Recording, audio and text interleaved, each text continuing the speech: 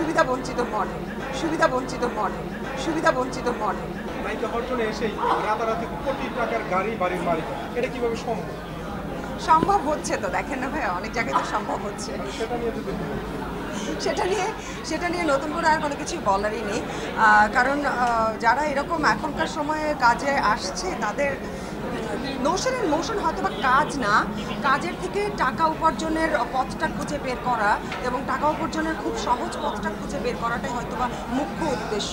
যার কারণেই তাদের খুব সহজেই অর্থ সম্পদ হয়ে যাচ্ছে, কিন্তু আমাদের মতো মানুষ যারা বহু বছর ধরে কাজ করছি, যারা কাজের জন্য পাগল, কাজের নেশায় আমরা মেতে থাকি, কাজ পেলে আমরা পাগল হয়ে যাই, একটা ভালো কাজ পেলে টাকা বেশি পেলাম কি পেলাম না সেটা চিন্তা করি না, তো আমাদের মতো মানুষরা আসলে গরিব থেকে যায়, আমরা সুবিধা বঞ্চিত মানুষ, আর কি বলব? এটাই বলতে হবে যে আমি একটা বাট সিনেমাটা শেষ করে যখন আমি তাকে জিজ্ঞেস করলাম যে, আমি কি করতে পেরেছি?